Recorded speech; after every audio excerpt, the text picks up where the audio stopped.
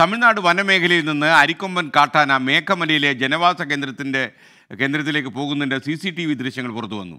Manalar estate റോഡിലൂടെ കൊമ്പൻ അങ്ങനെ നടന്നു നീങ്ങുന്ന ദൃശ്യങ്ങളാണ് സി സി ടി വിയിൽ പതിഞ്ഞത്. മണലാർ എസ്റ്റേറ്റിലെ റേഷൻ കട ആക്രമിച്ച ശേഷം മടങ്ങിപ്പോവുകയായിരുന്നു നമ്മുടെ സൂപ്പർ സ്റ്റാർ അരിക്കൊമ്പൻ. വിവരങ്ങളുമായി രാഹുൽ വിജയൻ ടെലിഫോണിൽ ചേരുന്നു ഇടുക്കിയിൽ നിന്ന്. രാഹുൽ വിജയൻ പറയൂ.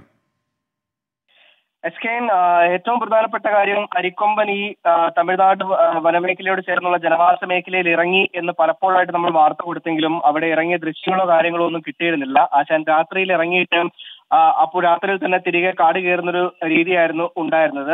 എന്തായാലും അതിന് പിന്നാലെ ഇന്നലെ ഒരു സി സി ടി വി ദൃശ്യങ്ങൾ നാട്ടുകാർ തന്നെ അവിടെ ഈ മണലാർ സ്റ്റേറ്റിൽ ഘടിപ്പിച്ചിരുന്ന ഒരു സി സി ടി വി ദൃശ്യങ്ങളിൽ അരിക്കൊമ്പൻ എത്തിയതിന്റെ ദൃശ്യങ്ങളാണ് എന്തായാലും പുറത്തു വന്നിരിക്കുന്നത്. ഈ അരിക്കൊമ്പൻ ആരാധകർ പറഞ്ഞിരുന്നത് അരിക്കൊമ്പൻ ഒരു കാരണവശാലും ജനവാസ മേഖലയിലേക്ക് ഇറങ്ങില്ല അത് കാട്ടിൽ തന്നെയാണ് ഉള്ളത് അങ്ങനെ വാർത്തകൾ കൊടുക്കുന്നത് തെറ്റിദ്ധരിപ്പിക്കാൻ വേണ്ടിയാണ് യാതൊരു വിധത്തിലുള്ള അക്രമം നടത്തുന്നില്ല എന്നതടക്കമുള്ള കാര്യങ്ങൾ പലപ്പോഴായിട്ട് സമൂഹ മാധ്യമങ്ങളിലൂടെ പ്രചരിച്ചിരുന്നു. അതിന് പിന്നാലെയാണ് അവിടുത്തെ വനം വകുപ്പിന്റെ കയ്യിൽ നിന്ന് തന്നെ ഇത്തരമൊരു സി സി ടി വി ദൃശ്യങ്ങൾ പുറത്തു വന്നിരിക്കുന്നത്. റേഡിയോ കോളർ ഇട്ട ആനയായതുകൊണ്ട് തന്നെ അരിക്കൊമ്പനെ കണ്ടെത്താനും അതിനെ തിരിച്ചറിയാനും വലിയ പാടൊന്നുമില്ല. അവിടെ ആ റേഡിയോ കോളർ ഇട്ട് ഉള്ള ഒരേ ഒരു ആനയുള്ളൂ. അത് അരിക്കൊമ്പൻ തന്നെയാണ്.